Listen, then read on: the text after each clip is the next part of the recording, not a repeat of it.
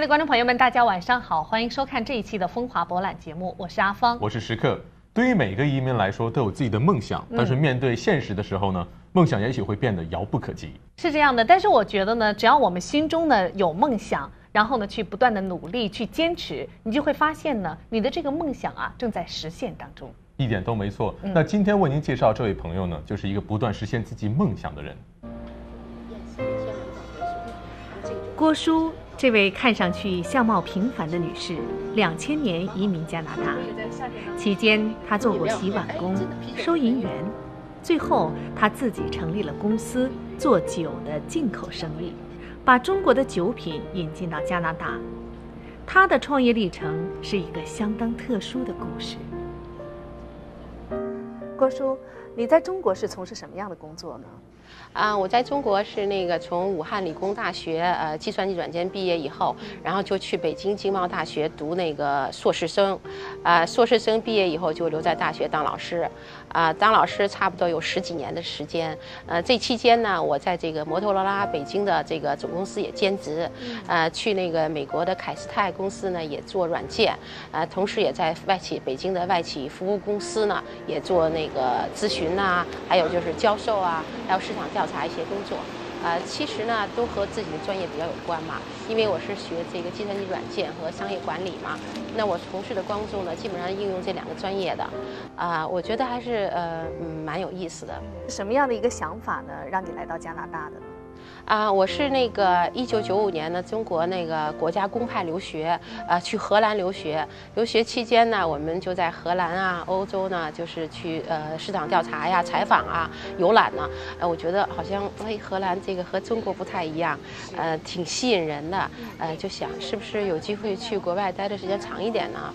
啊，然后去了解一下呢。去欧洲呢，就是说嗯，申请呢很非常困难，因为它人口很多嘛，受限很难。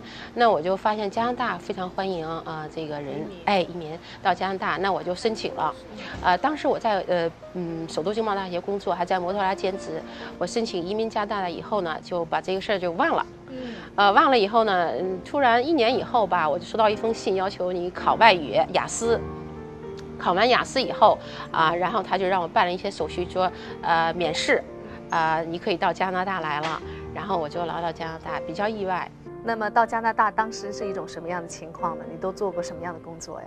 来到加拿大以后呢，我觉得这个和这个当时想象的非常不一样。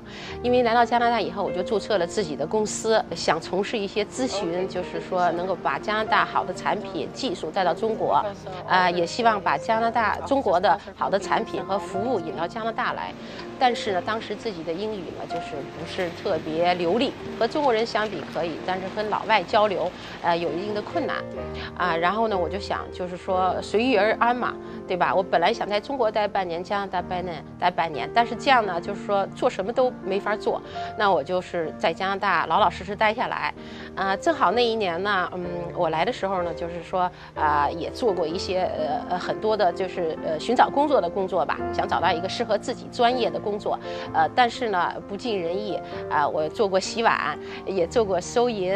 啊，然后呢，我又去 UBC 又读了一个硕士，本来想去 UBC 读博士，啊，在 U UBC 任教。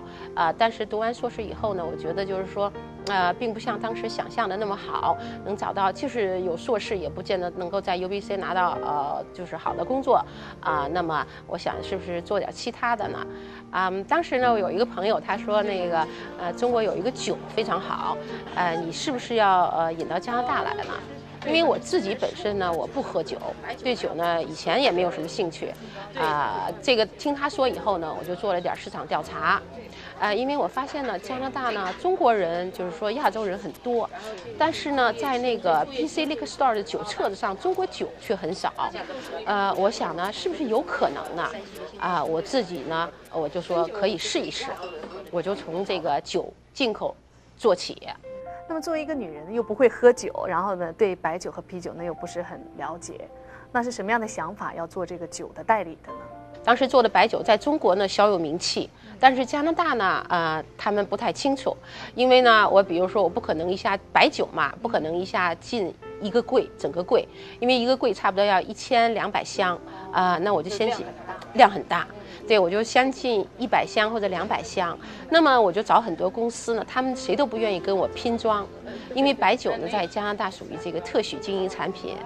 呃，我就想来想去，就想自己是不是能够单独进一个整柜，但是呢，单独进一个整柜的白酒呢，就是风险太大。